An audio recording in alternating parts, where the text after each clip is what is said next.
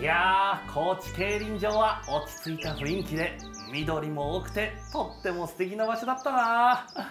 しこたま負けたけどまずいな。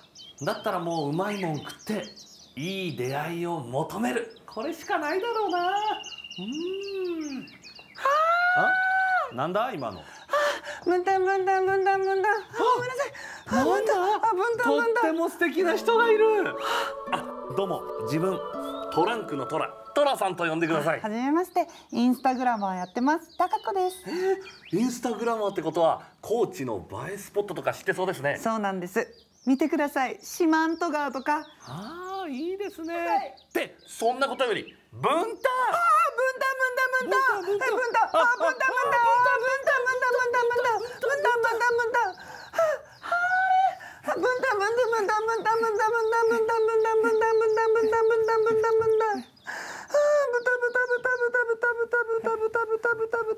拾ってくださいよ。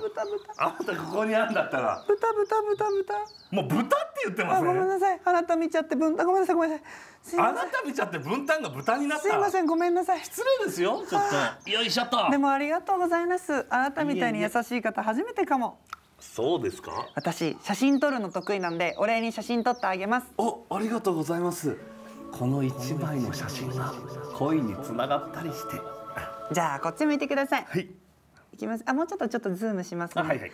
うんごめんなさい。ちょっと寄ります、はい。ちょっとこっち向けてください、はい。こっち向けてください。ごめんなさい。ちょっとはいチーズ。ありがとうござい絶対ます分担しか映ってない。あれ？